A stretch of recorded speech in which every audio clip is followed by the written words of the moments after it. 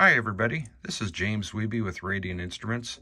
I want to give you a demonstration today of my new Co-Pro carbon monoxide sensor loaded with features and we'll be doing a comparison alongside our classic uh, thin air Geiger Co. Uh, and you can see both of them respond at the same time to smoke and carbon monoxide. Let's do it. I have four matches and a box.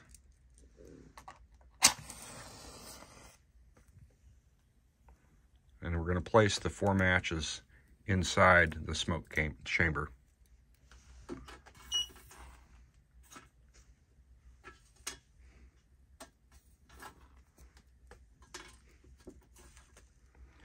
Okay, I've managed to place the four matches without starting the foam on fire. Now, and close the box, and let's see what happens. The first to respond is always the Geiger Co. Its solid-state sensor lasts a long time and is ultra quick. But meanwhile, the Co-Pro is showing us a graph of what's happening, and it's also providing us with an aural alarm and a trend arrow. That's the yellow arrow that you see flashing on and off. The carbon monoxide level is rising rapidly. Let's just watch it.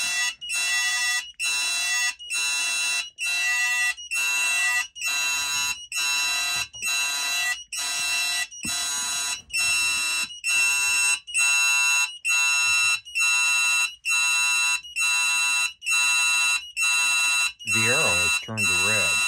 This indicates that uh, we've passed through 50 parts per million and that we are rising towards a red or 100 ppm level. You can see that the numbers have also turned to, to yellow, indicating that we're between 50 and 100 parts per million. Let's watch what happens as it passes through 100. The hazard icon at the top is turned on, the red arrow is still flashing, indicating that the rate is rising rapidly, and the uh, CO value down at the bottom continues to rise in step with the graphing capability. You also notice that the CO max value is rising in step. This always shows us the highest level of carbon monoxide that has been seen since the unit has been powered up.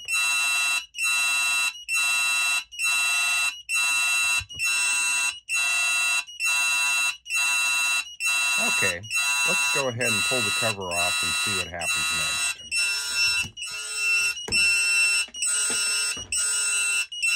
I'm going to wave some clear air, and that speaker's annoying, so I'm going to suppress it.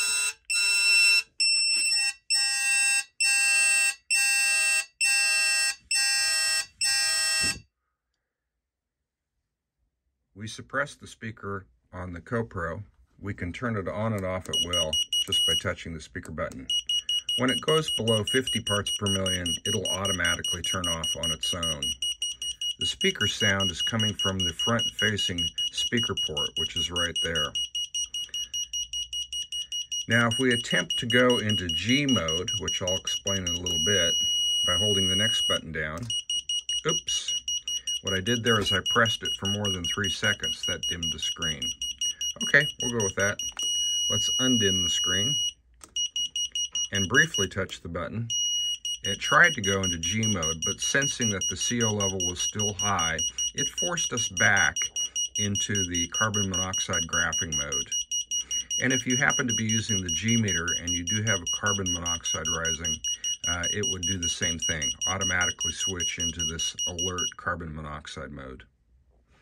We've gone below 50, uh, we see that the digital value is now uh, 44 and descending. We see that our maximum CO was 153, uh, and uh, we are continuing to get a graph of our activities as well. Um, let's uh, wait just a moment here.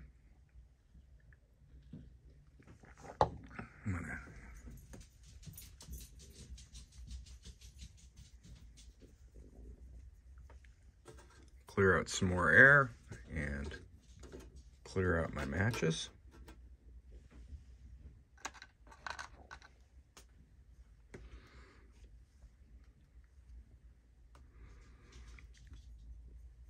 And now we're going to switch over to the G meter, just so that I can show you that as well. I do that by briefly touching the next button. This time, uh, it stays in the G-meter mode. And you can see how we have a history of the G-meter through the ghosting effect on the needle. And I'm rotating there, we're upside down, now we're upside up. You can see that we have the current G's at the top, the max that we've experienced, just a little over one unit of gravity, and the minimum, uh, about minus one unit of gravity. There's a dividing line. We still see our continuous max and our current CO level down at the bottom. When the sensor is subject to a lot of carbon monoxide, it takes a little while for it to settle back down to zero or one.